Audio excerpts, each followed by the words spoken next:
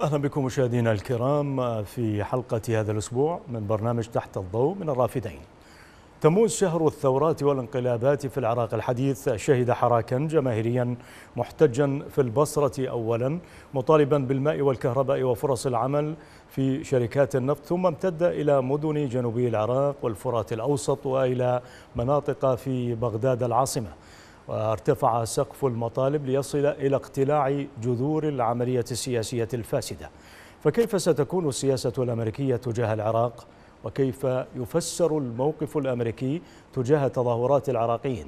وهل سيستمر الدعم الأمريكي للحكومات الفاسدة في العراق؟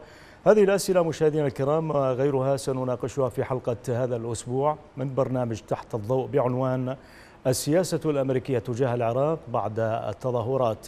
نرحب أولا بضيفنا في الاستوديو السيد شاهو القرداغي الباحث المتخصص في الشأن العراقي. مرحبا بك يا سيد شاهو. حياكم الله أهلا وسهلا بكم. وسيكون معنا أيضا عبر الهاتف من واشنطن دكتور عبد الوهاب القصاب الباحث الأمني والاستراتيجي. نرحب بك دكتور عبد الوهاب معنا. أهلا وسهلا مرحبا أنا باحث في المركز العربي للابحاث طيب شكرا دكتور.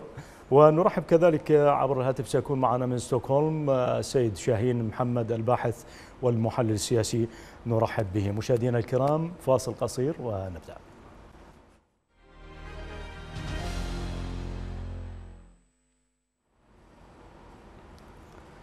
أهلا بكم من جديد مشاهدينا الكرام. اذا سيد شاهو عموم التظاهرات في العراق منذ عام 2003 لم تحقق الأهداف التي خرجت من أجلها طبعا بسبب قمع الحكومة و أيضا دعم الأمريكي لها وتغول الميليشيات في الساحة العراقية وعدم وجود إرادة دولية حقيقية لدعم الشعب العراقي للخروج من من أزمته. هل الوضع مختلف الآن في هذه التظاهرات؟ بسم الله الرحمن الرحيم بداية آه الآن إلى الآن المظاهرات آه تقتصر مطالباتها على المجال الخدمي تحسين الكهرباء الماء الخدمات الأخرى ولم تصل إلى مطالب جذرية قد تؤدي إلى تغيير شامل في العراق ولذلك نرى أن الحكومة العراقية إلى الآن تحاول امتصاص غضب الجماهير عن طريق إجراءاتها. رأينا أن الحكومة العراقية بدأت بقمع التظاهرات فتح يد الميليشيات والقوات الأمنية للسيطرة على الوضع نعم. ثم قطع الإنترنت. الآن بدأ بإجراءات لإقناع المتظاهرين أو لتخديرهم عن طريق سحب يد وزير من الوزراء وقد ينوي سحب يد الوزراء الآخرين في سبيل تهدئة الشارع. نحن رأينا أن ما دام المتظاهرين قد شكلوا خطر على النظام السياسي في العراق وأيضا رفعوا شعارات ضد المرجعية الدينية التي تمثل الغطاء الشرعي لهؤلاء الموجودين والتي دعت المواطنين العراقيين للمشاركة في الانتخابات بعد 2003 وأيضا كانت الداعم الرئيسي لهؤلاء المت... لهؤلاء السياسيين نرى أن حتى المرجعية تدخلت لتخدير المتظاهرين وتعليق كافة المشاكل على الحكومة القادمة التي سوف تتشكل ودعوة المتظاهرين إلى أن يكون مطالبهم محدودة وينتظروا الحكومة القادمة. وبالتالي دفن خطاب المرجعية أيضا مطالب المتظاهرين وعلقها على الحكومة القادمة التي قد قد يأتي وقد ومن المؤكد أنه سيكون مستمرا لنفس السياسات التي اتخذها هذه الحكومة. وبالتالي هذه المعطيات نرى أن قد لا يكون هناك نتائج إيجابية لهذه التظاهرات رغم أنها تبين أن الحاضنة الشعبية للأحزاب السياسية الموجودة الفاسدة نعم. خرجت عليهم وانقلبت عليهم وأيضا أهم مكسب يعني وهذا أهم شيء أن نعم. الذين طالبوا بهذا النوع من الحكم الأيديولوجي الآن هم يعانون من هذا الحكم نعم. فالدولة الميليشياوية سواء كانت ميليشيا مذهبية أو ميليشيات غير مذهبية لا تستطيع أن تؤسس دولة نعم. بل تكون دولة ميليشياوية خارجة عن القانون. نحن نرى أن الآن هناك نموذجين للحكم في لبنان وفي العراق. الشعوب في لبنان وفي العراق حتى المكون الشيعي الذي يتحدث هؤلاء باسمهم غاضبون نعم. ناقمون عن هذا الحكم. نعم. هذا مكسب جيد من خلال تطور الوعي تطور وعي المواطن العراقي. طيب. وصل إلى درجة من الوعي أنه لا يريد هذه الطبقة ولكن لا يمكن أن يصل إلى تغيير شامل كامل للمنظومة السياسية. نعم. لتوافر الأسباب التي من الممكن قمع المتظاهرين وتقسيمهم وتوجيه الخيانة والاتهامات إليهم. نعم. أه، دكتور عبد الوهاب القصاب من واشنطن السفارة الأمريكية في بغداد أعلنت دعمها التظاهرات واستعدادها محاربة الفساد بينما دعت الأمم المتحدة الأطراف السياسية العراقية إلى البدء بحوارات جدية لتشكيل الحكومة الجديدة والاستجابة لمطالب المتظاهرين. ما الذي تقرأه من من بياني السفارة الأمريكية والأمم المتحدة وما تفسيرك لتأخر إعلان موقفهما؟ آه، بالتأكيد إذا ما أردنا أن يعني نحيط بعوامل الموضوع أن آه، الولايات المتحدة تحديدا لديها مجموعة أولويات حقيقه أنا آه، اقرا انه بين ليس واحد من من اولوياتها الحالية لكن الذي دفع أو الذي شجع على تكون الأمور أكثر إيجابية. إذا ما تمكنا نقول أن الموقف الأمريكي الجديد من إيران قد يجد صدى لكن آه، تعودنا طيلة ال 15 عاما الماضية من الإدارة الأمريكية أن تنظر إلى العراق مما يمكن أن تسميته بالقوالب الجاهزة، القالب الجاهز هو أن هنالك انتخابات، أن هنالك آه، كتلة آه، فائزة وأن هنالك من يمكن أن يشكل الحكومة. الشعار الوحيد الذي ترفعه الجهة الأمريكية طيلة هذه الدورات الانتخابية الأربعة التي مضت أنه ينبغي أن يأتي رئيس الوزراء ممثلا العراقيين كلهم وأن يكون آه، بعيدا عن الطائفية وان آه، يحارب الفساد، هذه هي المرتكزين الأساسية التي يتحدثون عنها ولكن عند التطبيق العملي نجد أن هذه الطلبات تتبخر ثم نجد أن هنالك تمادي تماهيا واضحا من جهة القرار الأمريكية ممثلة بمندوب موجود في المنطقة غير كفؤ وربما منحاز. ما قلت آه، بإمكاني أن أسميه. آه، هذا الرجل يغذي واشنطن بمجموعة من المعلومات التي أرى أنها ليست آه، منطقية. واستغرب أيضا بنفس الوقت أن أجهزة جمع المعلومات الأمريكية الأخرى الموجودة ذات الاهتمام في الساحه وتاتي بمقدمتها السي آي اي ثم الاستخبارات الوطنية ثم الاستخبارات العسكرية للبنتاغون نعم. ثم دور البنتاغون نفسه كمخطط لوجود قواته على الأرض. هذه كلها أنا واثق بأنها تعرف حقيقة الحال على العراق من ناحية هيمنه الميليشيات التي هي الوجه الآخر لداعش حقيقة. الميليشيات الشيعيه المدعومة من إيران هي وجه آخر من أوجه ما يسمى آه، بالإرهاب آه، الذي مثلته آه، مجموعات داعش المقاتله نعم. الآن لماذا لماذا آه، الموقف الأمريكي مترددا هكذا؟ آه، وغير واضح من ناحية أخرى أنا أعتقد بأن الموقف الأمريكي سيبقى متارجحا آه، إلى اللحظة التي يتحرك الشارع بكامله. يعني لا يزال يستقرأ الوضع الدكتور عبد الوهاب. بحيث أن يعني هنا عند الولايات المتحدة تتحول حتى الامم المتحدة من موقفها المنافق. خليني اخلي بين قوسين طيب. تشكيل حكومة وفق آه، آه، آه، تشاورات لمجموعة الفاسدين التي أودت في العراق طيله 15 عاما إلى هذه المرحلة. النقطة الإيجابية التي أرى أنها قد تدفع باتجاه موقف عالم جديد هو أن المتظاهرين كما أشار زميلي صديقي زميلي الأخ ضيف في الاستوديو القراداغي نعم. أن المتظاهرين قد سقطوا عصا الطاعه على موضوعين كانا يهيمنان على الراي العام في جنوب العراق. الموضوع الأول هو هيمنة الميليشيات لاحظنا أن العديد من مقرات هذه الميليشيات قد أحرقت وهجمت ورفعت شعارات عالية تكتف ضدها والموضوع الثاني وهو المهم جدا هو أن المرجعية النجفية لم تعد لها تلك الهيمنة وتلك القدسيه التي كانت آه، تظن بأنها آه، تتمتع بها وبالحقيقة يعني واقع الحال آه، انعكس هذا في المحاولة التهدئيه التي أتت في خطة جمعة الكربلاء أخيرا والذي دعا الحكومة لمعالجة الموضوع وإلا فإن على الناس أن يأخذوا طريقهم لتحقيق ذلك. نعم. هذا محاولة انتكاس النقمة على على المرجع. تخدير. أعود إلى الموقف الأمريكي، الموقف الأمريكي سيبقى ارجحان سيبقى غير ثابت أولا لوجود هذا المبعوث غير الموثوق به من وجهة نظر الوطنيين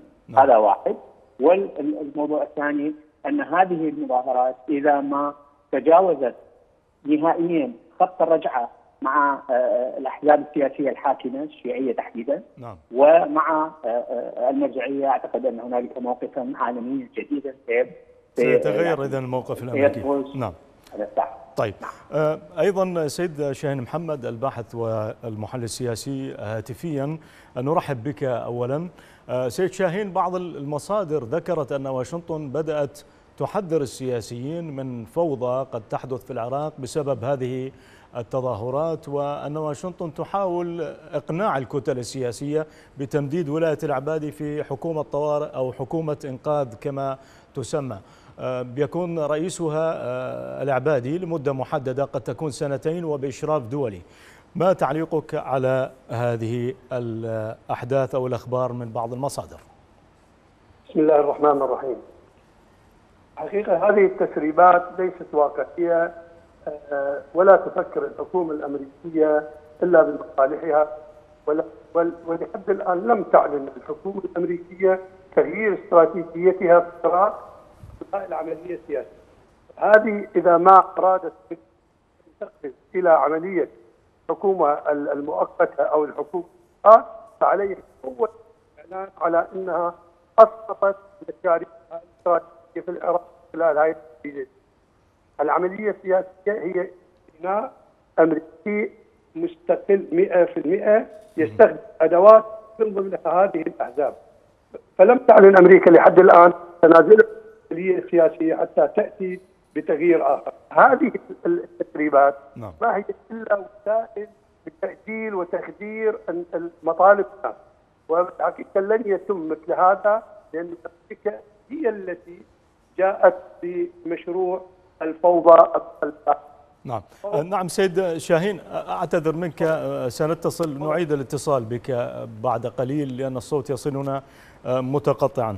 سيد شاهو أيضا بسبب الضغط الشعبي الآن من جراء هذه التظاهرات والاحتجاجات ائتلاف الوطنية برئاسة إياد علاوي قدم مقترحا لتشكيل ما سماها بحكومة إنقاذ وطني لمدة سنتين أو أو ثلاث سنين تأخذ على عاتقها إيقاف العمل بالدستور الحالي وتكليف لجنة لكتابة دستور جديد للبلاد دستور مؤقت لمدة عشر سنين كما حسب يعني مقترح إياد علاوي. هل هذه الحلول برأيك مثمرة؟ أعتقد أن أي حلول تنبثق من الوجوه الموجودة التي هي التي حكمت وفشلت لا تكون حلول مجدية. الأطراف الموجودين على الساحة السياسية حاليا في العراق السياسيين كل طرف يفكر في حصته من الكعكة. نعم. وكلما شعر أن حصته قد ينخفض أو قد يقل يطرح حلولا تتوافق مع نظرته ووجهته السياسية الآن اياد علاء وغيره من السياسيين نرى أنهم يطرحون نفس الاقتراحات كل فترة يكون هناك أزمة سياسية ولا أحد يعني يصغي إليهم، وبالتالي لا أعتقد أن هذه الخطوات خطوات مجدية وخاصة إذا لم يكن هناك دعم دولي حقيقي لهذه الخطوات. نعم. الإدارة التي فشلت الوجوه الوجوه السياسية التي فشلت الأحزاب التي فشلت سواء كان لديها المشروع الحالي أو ألغت الدستور وجلبت مشروعا جديدا لا يمكنها أن تغير تغييرا حقيقيا نعم. إلا بمحاسبة ومعاقبة جميع المنخرطين بالفساد من الحكومات السابقة هنا يكون هناك تغيير فعلي ولكن إذا جلبوا مجموعة من الوجوه القديمة والتي شاركت بالفساد وأعطوهم آه، السلطة من جديد هل سيكون هناك تغيير؟ لا يمكن أن نجرب شيئا مرتين وننتظر نتيجة مختلفة نعم. نفس النتيجة سوف تخرج ولكن بوجوه جديدة, بوجوه جديدة. نحن نعتقد أن البناء السياسي والوجوه السياسية التي دمرت العراق وأيضا فسدت في العراق يجب أن تعاقب وتحاسب. نعم. الآن هناك أصوات تخرج اعتذارات للشعب العراقي من بعض القيادات العسكرية والأمنية، ماذا يفعل الشعب بالاعتذار؟ الاعتذار يحصل عندما تترك السلطة وأيضا تخضع للمحاكمة وبعدها تعتذر للشعب، هؤلاء يعتذرون ويطلبون السماح وهم مستمرون في مستمرون في الحكم، اذا نعم. إما أن المشكلة في الشعب الذي تم تخديره بحيث يرى هذا الأمر ولا يتفاعل معه ولا يخرج ضدهم وإما أن المشكلة فيهم هم يدركون أن الشعب لا يستطيع أن يخرج وبالتالي يعتذرون حتى يجملون صورتهم ولكن نسبة الوعي عند المواطنين زادت, زادت. وبالتالي تم آه، ردة فعل تجاه هذا الخطاب الاعتذاري ونطلب السماح كان استهزائيا من قبل الشعب لأنهم أدركوا أن هذه الأمور لا تفيد نعم. والآن أي خطوة أي خطوة من قبل آيات علاوي أو غيره لا تأتي بدعم دولي موافقة دولية يكون دعم دولي لجلب وجوه جديدة لإخراج النفوذ الإيراني لا يمكن التعويل عليه. طبعا الآن حتى حتى عفوا خطوة العبادي بقالة وزير الكهرباء مؤخرا قابلها يعني الشعب العراقي عبر وسائل التواصل الاجتماعي بازدراء طبعا خطوه هذه الخطوة يجب أن نوضح سبب هذه الخطوة عندما استجدى حكومة العبادي إيران لاستمرار منح الكهرباء للعراق. قال وزير الكهرباء قال أن إيران هي سبب قطع الكهرباء وبالتالي هذا عقوبة لهذا الوزير لأنه شوه سمعة إيران إيران عند المواطنين العراقيين.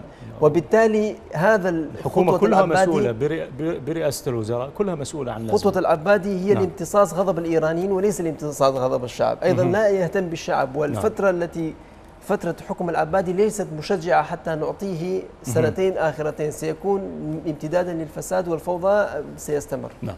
طيب أعود أيضا مع السيد شاهين محمد من ستوكهولم هاتفيا الباحث والمحلل السياسي. نأمل أن يكون الصوت الآن أفضل. سيد شاهين هل تعتقد أن السلوك الأمريكي القادم تجاه العراق بعد هذه الاحتجاجات ستكون له اليد الطولى في الشؤون السياسية والعسكرية والاقتصادية بعد سنين من من غض الطرف عن السيطرة الإيرانية على العراق؟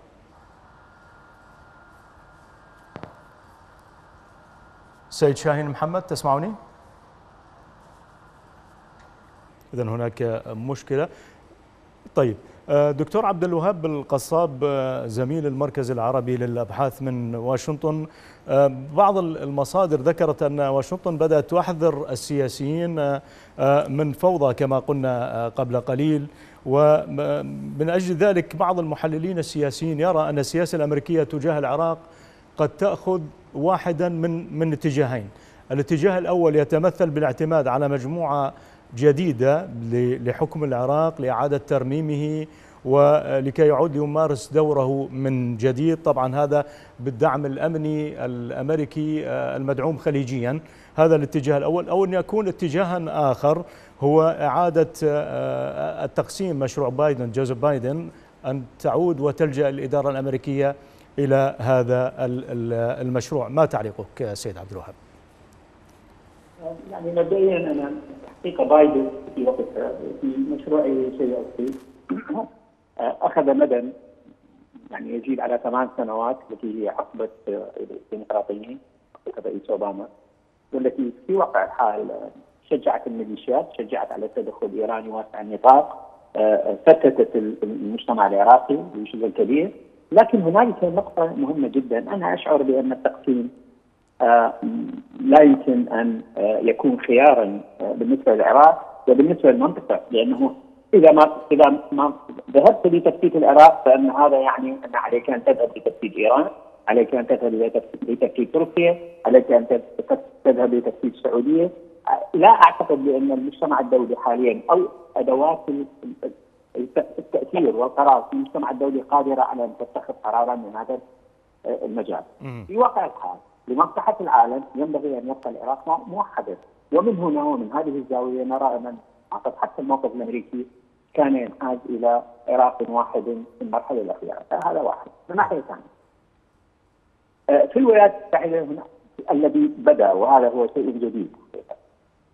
آه، أن هنالك مؤسسة البيت الأبيض التي راسها الرئيس آه، ترامب والذي هو لوحده يتخذ القرارات باسلوب الجديد هو اسلوب التغريدات باسلوب تويتر وان هنالك الدولة آه، دعني أسميها الدولة العميقه التي هي حصيلة تفاعلات آه، المصالح الداخلية الأمريكية الممثلة بالبنتاجون والممثلة بالوزارة الخارجية والممثله بالاجهزه الأمنية التي على راسها السي اي اي أو منظمة أو مؤسسة الاستخبارات الوطنية والمجمع الصناعي العسكري الذي هو حقيقة عصب الحياة بالنسبة للسلوك الصناعي الأمريكي خارج البلد من جهة والداعم الرئيسي في الحزب الجمهوري الذي يمثل مصالح حقيقة المجمع الصناعي العسكري. نعم. محصله تفاعل مصالح هذه الجهات يعني تعمل من جهة والطريقة التي يفكر بها الرئيس الحالي دونالد ترامب من جهة أخرى. هنالك حقيقة بأن هنالك استهداف من قبل دونالد ترامب للمؤسسة الدينية الموجودة في إيران. ليس لايران كيان كما كان القرار بالنسبة لمجموعة المحافظين الجدد التي التي كان العراق ككيان والعراق كدولة كان ابدا. نعم. الآن بالنسبة لإيران ابدا المستهدفين هو عملية يعني المطلوب هو عملية تقطيع أجنحة آه، المؤسسة الدينية الحاكمة على أمل أن يقوم الشعب بتغييرها في فترة ما. لو نجحت هذه السياسة في واقع الحال ستنعكس ايجابيا قطعا على أذرع إيران. ذلك لأنها ستقطع آه، نعم لأنها ستقطع أجنحة الميليشيات المتحكمة في العراقية والتي هي عبارة عن صدى للمصالح الإيرانية آه، آه، في العراق.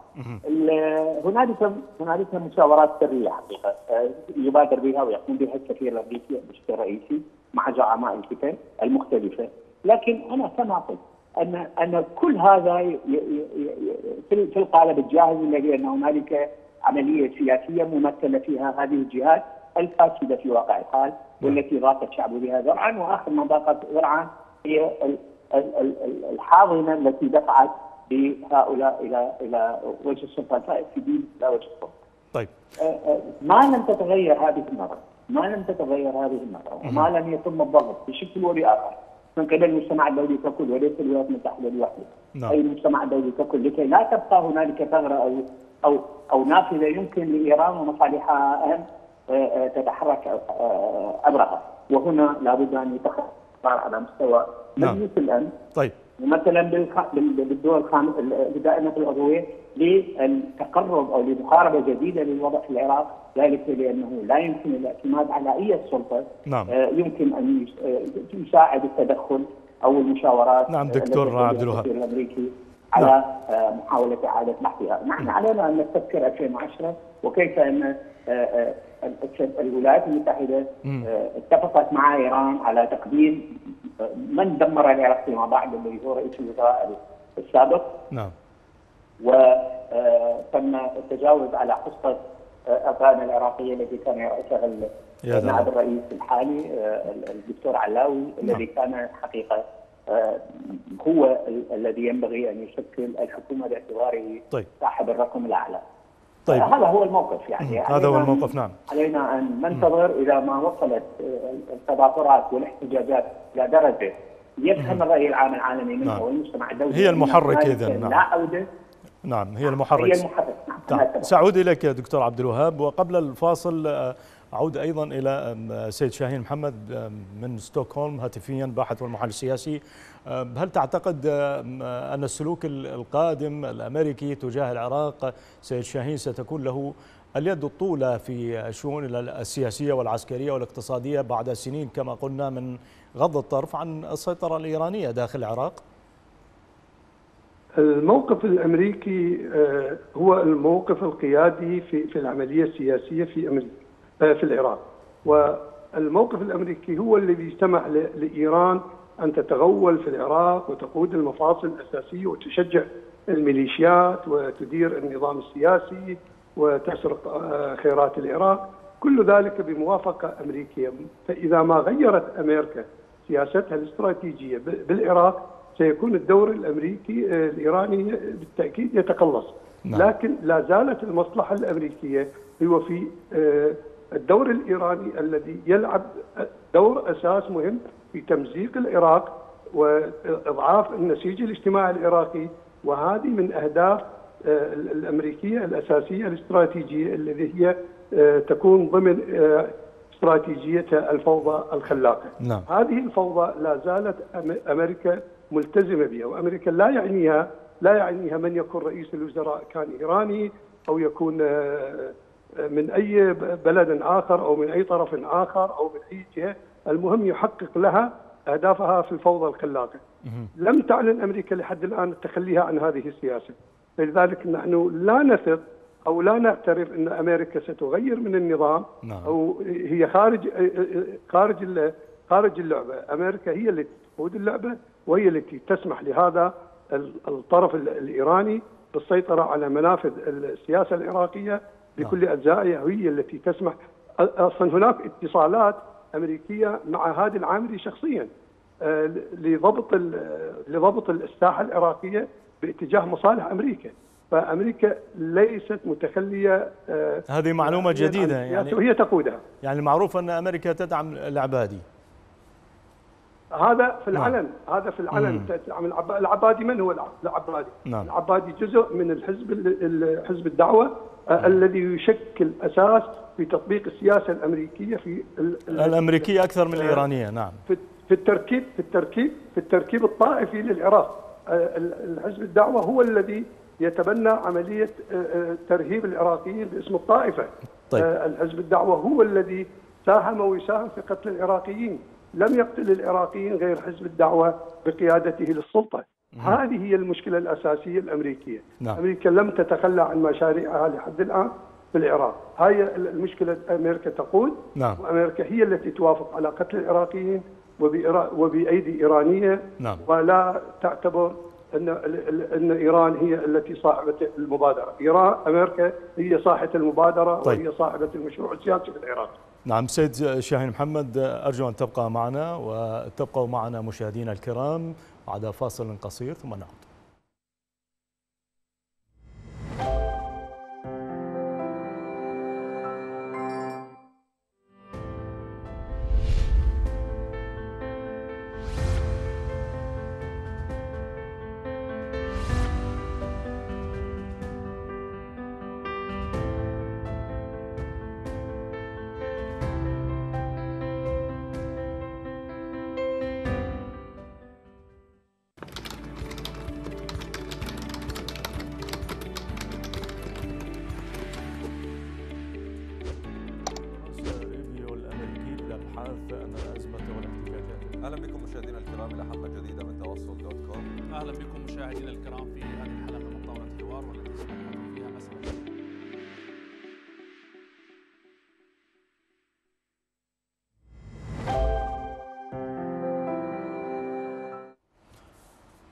بكم مشاهدينا الكرام في هذه الحلقة من تحت الضوء من الرافدين والتي تتحدث عن السياسة الأمريكية تجاه العراق بعد التظاهرات. آه، سيد شاهو بعد هذا التطور الحاصل في التظاهرات الشعبية التي يزداد كما نرى سقف مطالبها آه، البعض يطالب آه، ورأيناه عبر شاشة التلفاز بتغيير هذه العملية السياسية الفاسدة التي جاء بها المحتل الأمريكي. من أجل ذلك هل سيستمر الدعم الأمريكي برأيك لدعم هذه الحكومات الفاسدة؟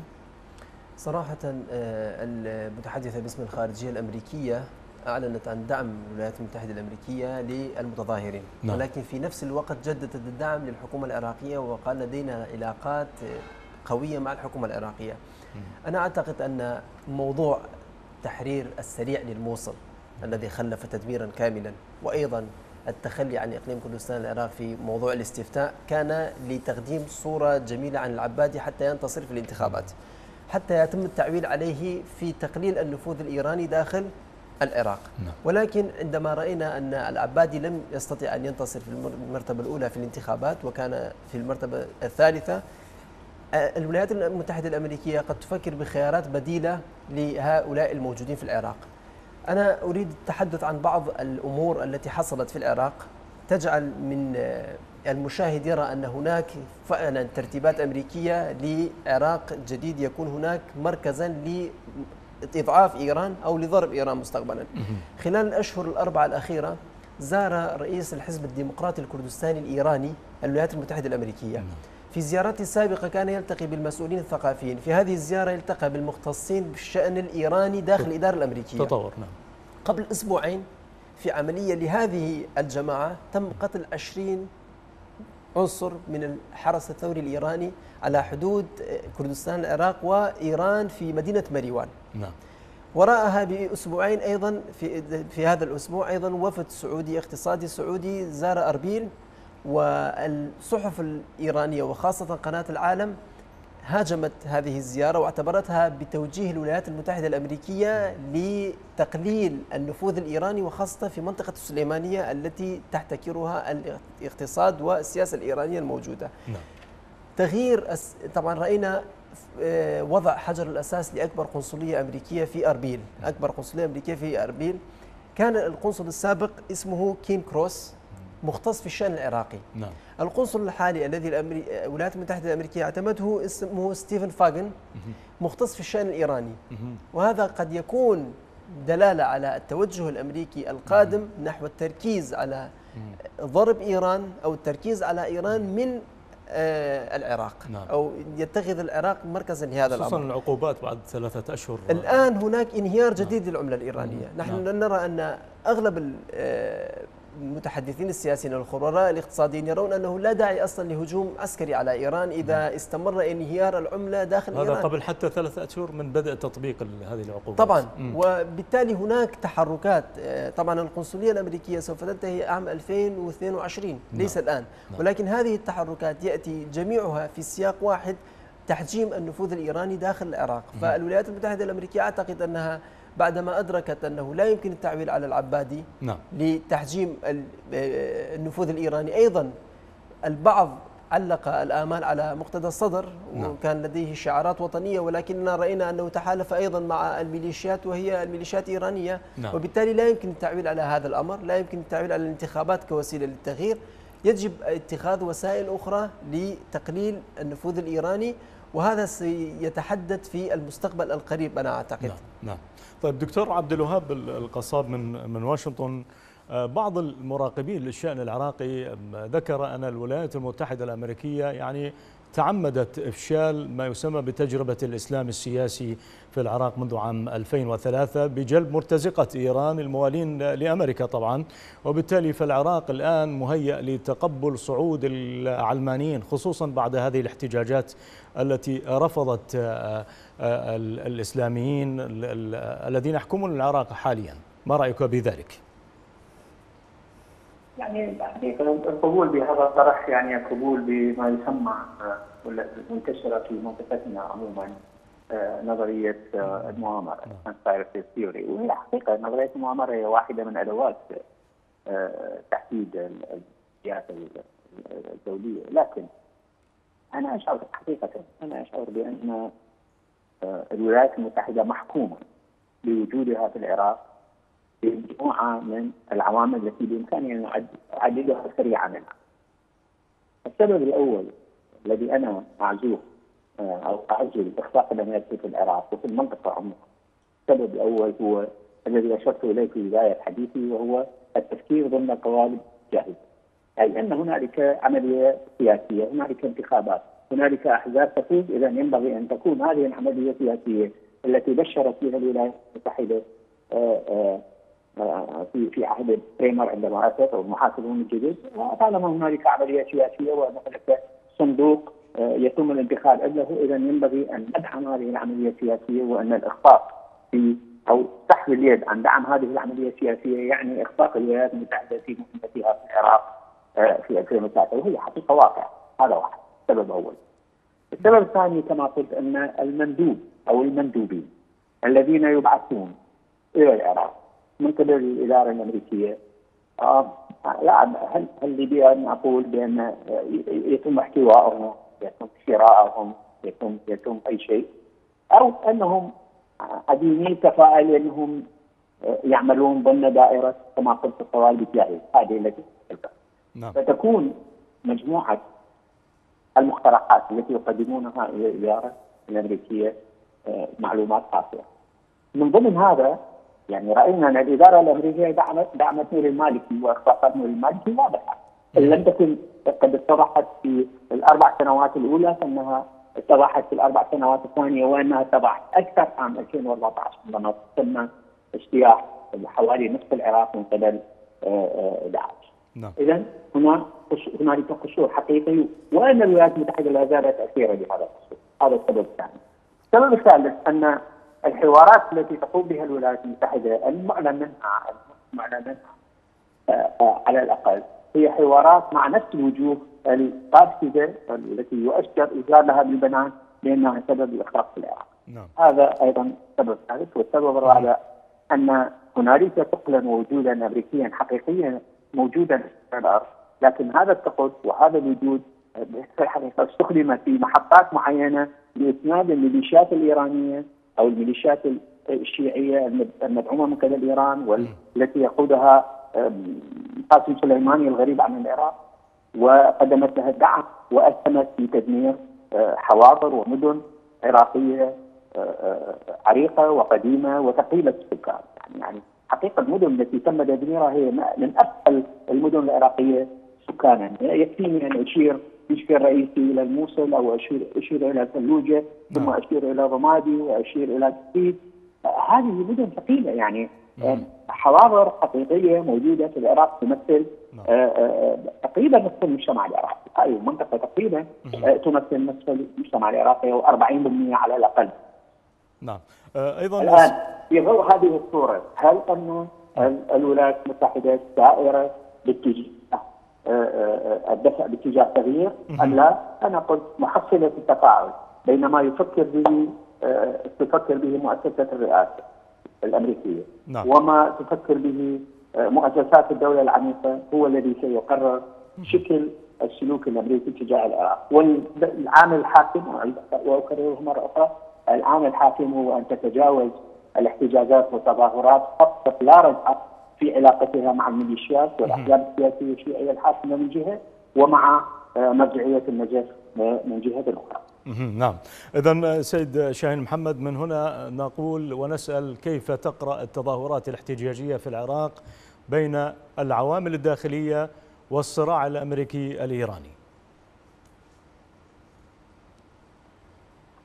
سيد شاهين محمد من ستوكهولم آه، تتجاوز المطالب الخدمية الظاهرة. هو لإحراج الحكومة آه، التي تدعي أنها آه، جاءت لحماية هذا المكون. وبعدين كل عوامل التأجيل والتخدير انقشعت فبقي أمام أمام الحكومة إلا تنفيذ وعودها في للناس، هذه فشلت فيها الحكومة فأصبحت مطالب الناس إحراج للسلطة وهو تتضمن أيضا تغيير في السلطة شامل لما لما يطلبوا العراقيين آه، بخلال شهر أو خلال أسبوعين أو ثلاثة يجب أن تنفذ هذه المطالب، هذه طلبات الحكومة تعتبرها طلبات تعجيزية غير قادرة عنها لأنها لم تستطع توفيرها خلال 15 عام، نعم. فكيف أن توفرها بخلال شهر؟ هذه المطالب هي تتضمن أصلا آه، هي إسقاط العملية السياسية برمتها، لأن وأما ما توافق مع أو الخلاف الإيراني الأمريكي ايران بطبيعتها السيكولوجيه هي تحاول أن تجد لنفسها ظل آه، في كل مكان. تحاول أن ترى نفسها في كل حدث. هذه سيكولوجيه فارسية آه، يعني تلتزم بها الحكومات نعم. قبل شعوبها هاي المشكلة الإيرانية إيران بعيدة عن أحداث الجنوب وإنما هي حاول تحاول أن تغطي نفسها على أنها هي الدولة المؤثرة في الساحة وهي المؤثرة على الأحداث طيب. وهذا غير غير واقعي وان المطالب العراقية هي مطالب صميمية تخص مستقبل م. الشعب العراقي تخص أبناء هذه المناطق نعم. التي آه التي تعمقت فيها الجروح من القتيل والجهل نعم. والمرض. وكل مساوئ وكل مساوئ آه، كل مساوئ العملية السياسية ظهرت على أبناء العراق نعم. لذلك هذه المظاهرات ليست عفوية وليست بمطالبات آه، لأهداف خدمية وإنما تتضمن إسقاط العملية السياسية كاملها كاملة وهذا ما ينتج وما سينتج عنه هو حتما صراع لتغيير السلطة في العراق وإجبار نعم. الإدارة الأمريكية على التنازل عن هذه العملية السياسية. نعم آه، سيد شاهو هل تتفق مع آه، ما قاله سيد شاهين بأنه بالتالي بالمحصلة ستكون نتيجة هذه التظاهرات أن تستمر بوتيرة أعلى حتى إسقاط آه، هذه الأحزاب والعملية السياسية التي جاء بها المحتل الأمريكي والذيل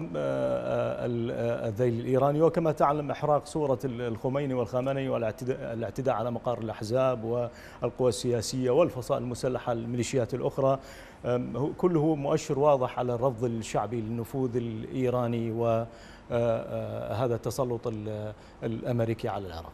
بلا شك الأسباب أصلا الأسباب التي دفعت المواطن للخروج كلها أسباب واقعية وشرعية ولكن إلى الآن لم تصل إلى أن تتوسع بطريقة تشكل خطر حقيقي على النظام السياسي. يعني إلى الآن نرى أن المحافظات لنقل السنية تعاني نفس المشاكل التي يعاني منها المحافظات الشيعية ولكنهم يخشون من تهمة الداعش نعم. طبعا مجلة غربية تقول هذا الكلام تقول المواطنين يشعرون بنفس النقص ونقص النقص في الخدمات والظلم والفساد ولكن لا يستطيعون أن يخرجوا ليطالبوا بحقوقهم نحن نرى أن تم اتهام المتظاهرين في المحافظات الجنوبية بأنهم تابعين داعش أو البعث أو أيادي خارجية فكيف بالمحافظات السنية فمن باب أولى يتهمونهم بكل الاتهامات نعم.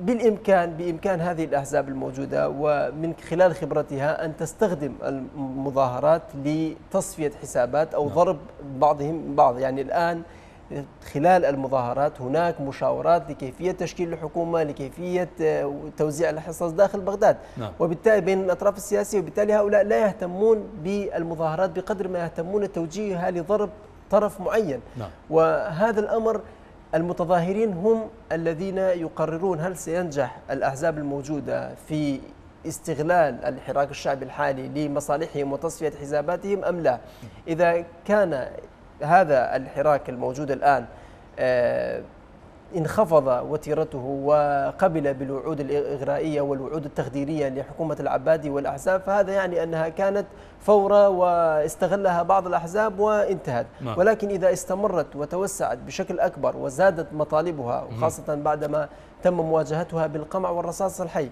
إذا زادت آه، مطالبها وتوسعت الرقعة الجغرافية لهذه المظاهرات فحينها سيشكل خطر حقيقي وحينها سوف تخرج يعني حتى معاملة السلطة يكون بشكل مختلف نعم. وبشكل قمعي أكثر تتعامل الولايات المتحدة والمجتمع الدولي معها كما قال الدكتور عبد الوهاب بشكل جدي يعني نعم. بلا شك بلا نعم. شك نعم. دكتور عبد الوهاب القصاب بالتوازي مع الدور الأمريكي أيضا دفع الوضع داخل العراق المتشظي القابل للانفجار في أي لحظة. دفع دولا عربية للبحث عن أدوار كانت ممنوعة من تأديتها منذ عام 2003 للعمل على آه، تقليل الدور الإيراني في العراق. ما تقييمك للدور العربي المدعوم أمريكيا تجاه العراق حاليا خصوصا بعد هذه الاحتجاجات؟ ولو سمحت بدقيقتين. تفضل دكتور عبد الوهاب. بالتاكيد يعني وبعجاله يعني أعود إلى نفس الأطروحة الأساسية التي قلتها. أن هذه الجهات العربية تتحدث مع من؟